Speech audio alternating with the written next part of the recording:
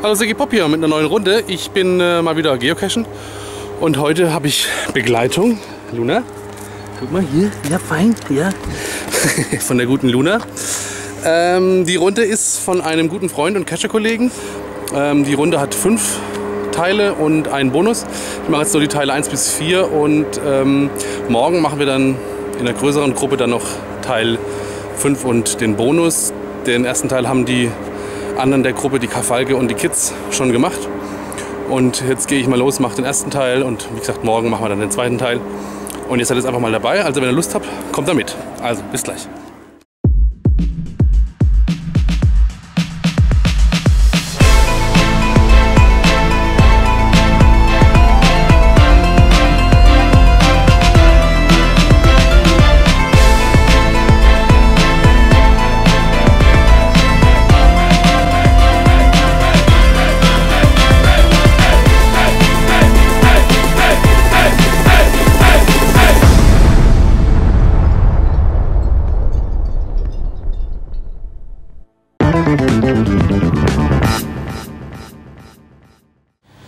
Ja, mein GPS streikt hier gerade so ein bisschen.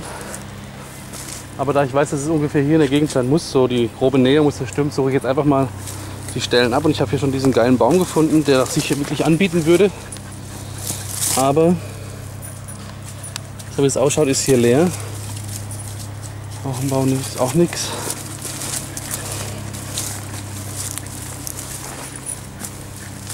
Ah, da ist er doch.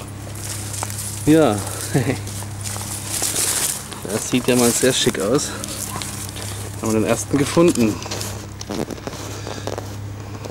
Ein Drache bewacht die Dose. Und mal gucken wir mal. Ja, den Hinweis für den Bonus bekomme ich, indem ich ein Puzzle zusammensetze. Und zwar sind es hier so vier Holzteile, die bemalt sind. Und die müssen da irgendwie zusammenpassen. Ja, haben wir es doch schon. D ist gleich 4. Gut. Haben wir den ersten Hinweis schon. Können wir aufräumen und weitergehen.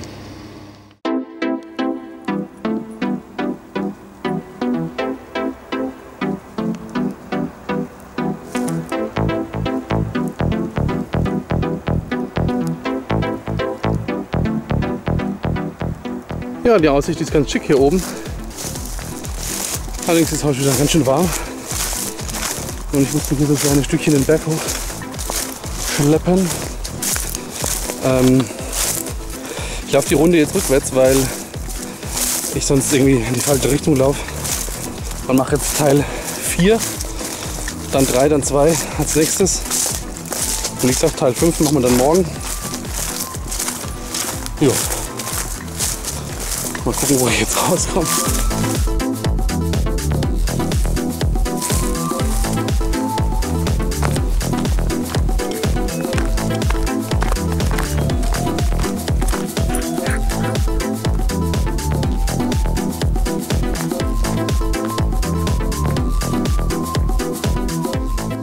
Ja, mein GPS lässt mich heute einfach wieder echt im Stich. Aber ich habe ihn schon gefunden.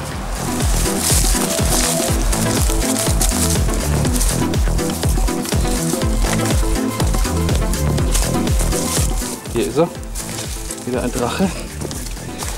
Könnte meinen, das Thema handelt von Drachen. Wieder eine schöne Dose, also eine schöne Kiste. Und gucken wir noch mal, was drin ist.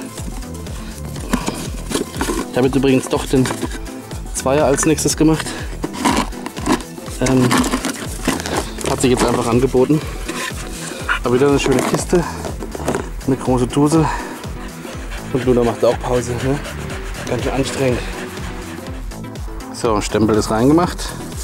Und gucken wir mal, der Bonus ist wieder vermutlicherweise wieder so ein Puzzle.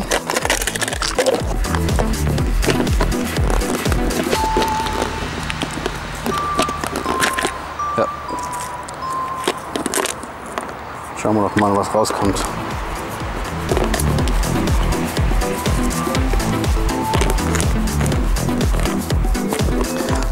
Mit einer Hand ist ein bisschen schwierig. Ich lege es mal schön zusammen, dann kann ich zwei Hände nutzen und dann zeige ich es euch gleich nochmal. Mein lieber Mann, das hat mich jetzt hier ganz schön Nerven gekostet. Klar, es ist ein Ei, logisch. Auf die Form muss man erstmal kommen. Hat mich ganz schön was gekostet. Äh, das geht in Richtung Kescher-Kollege. Das zeige ich dir heim. Gut, ich habe es gelöst. Äh, e ist gleich 1. Gut, dann packen wir das Ding wieder weg und gehen weiter. Mann, Mann, Mann, das hat mich jetzt ganz schön Zeit gekostet. Na gut, fünf Minuten oder so, aber ähm, stand gerade sowas von auf dem Schlauch, wie die Form zusammengehört. Aber dann habe ich noch ein bisschen überlegt, was das sein könnte für eine Form und dann ging es dann doch relativ schnell. Aber schön gemacht. Hut ab, lieber Kollege. Ich sage jetzt halt nicht deinen Namen, weil wir wollen ja nicht zu viel spoilern, wo ich bin und bla bla bla. Äh, deswegen, ja, bist sofort an erstmal mein Kescher-Kollege. Gut, jetzt sind es nur noch 125 äh, bis zum nächsten Ziel. Luna ist schon wieder ein Stückchen voraus, aber das passt schon. Ja, geht quasi jetzt schon wieder in Richtung zurück. Jetzt kommt ja nur noch 2 und 3. Ne, Quatsch, 3 und 4. Und wie gesagt, 5 machen wir ja dann morgen erst mit den anderen zusammen. Gut, also bis gleich.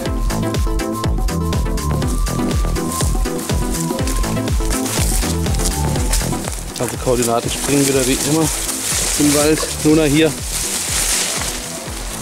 Aber da ist der nächste furchterregende Drache. Ja. Wie zu vermuten, werde ich da wahrscheinlich auch wieder puzzeln müssen. Was ist sonst? ja, B ist 9.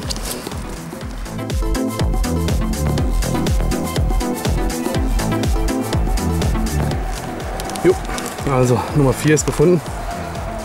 Ähm, ich musste mich mal wieder komplett auf mein Gespür verlassen. Die letzten, weiß ich nicht, 30 Meter Radius.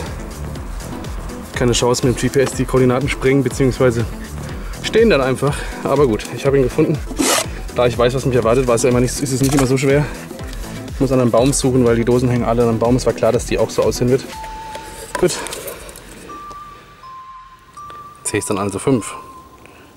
Das hat mich jetzt heute ein Stückchen gekostet, aber ja, ich habe es gelöst. Gut, dann soll es für heute gewesen sein. Und dann geht es morgen weiter. Also, bis dann. Ciao. So eine Licht... Ah, ja, so. Ähm, ich habe gerade festgestellt, dass auf dem Weg zurück jetzt noch ein ähm, Cache in 120 Meter Entfernung liegt. Da gehört nicht zu der Runde, ähm, aber den nehme ich jetzt noch mit. Bleibt einfach mal dabei. Was wir gefunden haben. Du bleibst schön hier, Luni. Luna hat ihn schon gefunden. Und der, der Tipp ist der Klassiker. Könnte es vielleicht hier der Pilz sein? Ne, das ist nicht. Aber dann wahrscheinlich hier irgendwo im Efeu. Ja, hier sieht es doch ganz gut aus. Ja. Da ist er. Sehr schön versteckt.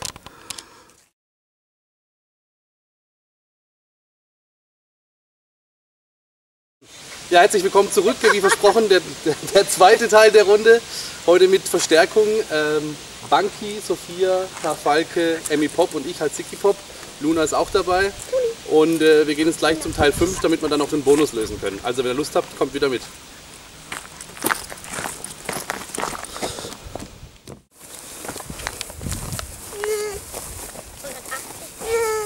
Wie viel? 180. Okay. Ja, für Straße. Hm, kannst du mal einen fangen, mal probieren, ob dir die schmecken? Ja. Ich glaube, die schmecken bestimmt gar nicht so schlecht. Ja, eben. Rein. So, wir sind jetzt schon direkt in der nächsten Umgebung und wir denken mal, dass es hier in dieser kleinen Baumgruppe ist. Da kann man rein. Und wahrscheinlich sieht man irgendwo auch schon Trampelpfade. Das Zackig, ne? Und die Kids gehen schon mal vor, Sophia und Emmy Pop. So. Der ein Stein. ey. Ja, macht schön langsam. Und schon was gefunden? Ja, Wie viele Meter sind noch? 13. 12 bei mir. Damit ist 13 Kinder. Ja, das kommt ungefähr hin. Was ist bei dir? 9 bei mir. Bei dir? Auch 9. Also ich denke, Bei mir 9. macht schön langsam, Mädels. Ihr müsst jetzt rennen, bevor ihr euch den Fuß verknackt. Also ich hätte gedacht, dass es hier ist, aber vielleicht, vielleicht täusche ich mich auch. 4 Meter sind bei mir noch. 4 bei mir. Nee, ich guck dich nicht an. Ich, äh, Ich erwarte keine Tipps. Nee, der hat keine Hinweise ausgetauscht. Nee, weil die ja ewig groß sind. Ja, ich denke auch. Und hast du was? Hast du was, Emmy? Ja, ich hab ihn. Hast du ihn? Okay. So. Genau. Leg mal am besten schon das, ähm, das Holzteil auf den Boden, dann können wir da das Puzzle gleich drauf machen. Ja. Hier, mach mal hier. Hier ist das Puzzle. Mara, komm, lass mal die Mara Okay, okay, Mara, komm mal, geh mal hier rum. Genau. So, der Ben versucht sich schon. Ja, aber du kannst ja schon mal das Ding rausholen, dann kann man da schon mal stempeln.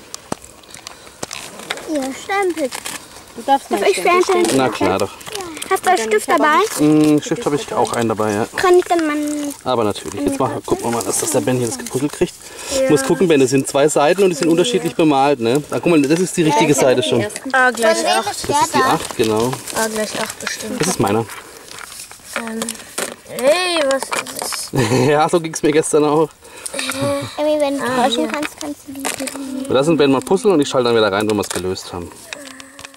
Datum, Mama? 8 ist gleich A. Banki hat es gelöst. Das heißt, wir haben jetzt alle Koordinaten zusammen, also beziehungsweise alle Buchstaben zusammen, um die Koordinaten für den Bonus zu errechnen, was sehr gut ist. Kannst du den Haken noch zumachen? Ja, wir müssen da jetzt erst dann Yay.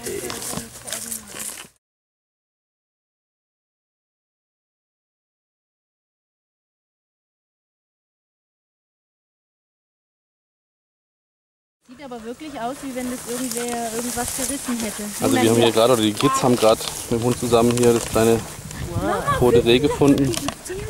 Ja, ja, das ist, Liegt hier mal, schon eine Weile. so, ne? Wahrscheinlich ist es irgendwie, weiß ich auch nicht, ein Riss. Also es sieht so aus, als Ja. dass hier irgendein Tier sich ja dran ein- vergnügt. Ein Kitz, ein Rehkitz. Ja, ja, das.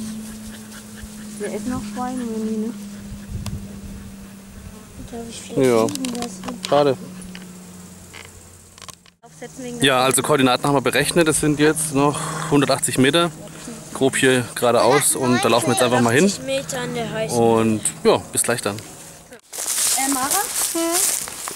Zeigt doch bestimmt ein bisschen nach rechts, oder?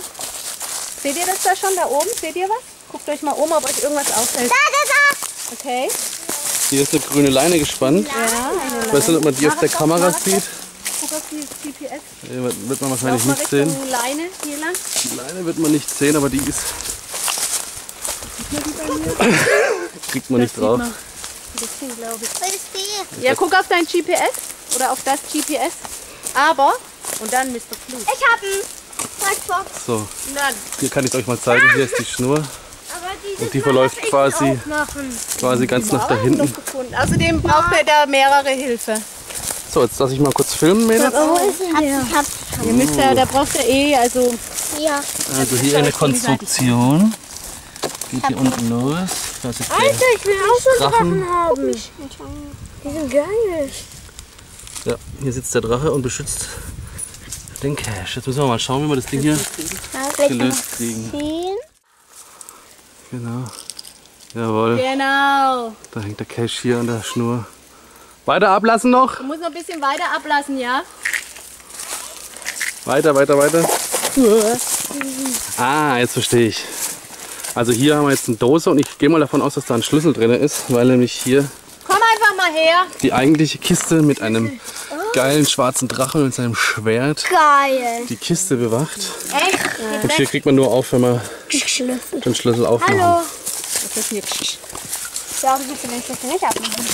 Den kann man nicht abmachen. Genau, der Ben schließt das Schloss auf. Der Funky. Ist komplizierter als man denkt. Ja, du schaffst es. Ich weiß. Ich will ein paar Hand streichen. Der Hund ist auch weg, glaube ich. Gell? Da kommt nee, er. kommt So, jetzt gehen wir aus dem Bild, Emily. Ah, guck mal hier, da das war ein Fall Ei. drin. Oh ja, da war ein Fall da drin. Ah, cool. Nein. Ein Ei. Schlüssel kannst du eigentlich kurz loslassen, wenn wir brauchen dann erst wieder Füllen wir in die. Kiste rein. Jawohl. Was ist in dem Ei drin? Das ist nur Deko. Das, das ist das Ei, was bewacht wird von den Drachen und das, was wir jetzt zu suchen hatten. Das Ei des Drachen. Drin. So, hier nochmal die Dose im Ganzen. Ja. Wirklich sehr schön. Jetzt müsst ihr es ziehen, genau. Und hier sieht man nochmal den Mechanismus. Wenn die Mädels jetzt an der Schnur ziehen, Höher! Wandert das Ganze hier nach oben, Mehr, mehr, mehr, mehr, damit man da nicht rankommt, ohne den Mechanismus auszulösen. Wirklich sehr schön gemacht. Gut, mit viel Kletterei kommt man hier wahrscheinlich auch so ran, Ja. Ja, aber. aber das macht ja nichts. Sehr Jetzt gut. könnt ihr einhaken, ja. Hier nochmal eine Aufnahme vom ersten Wächter des Eis.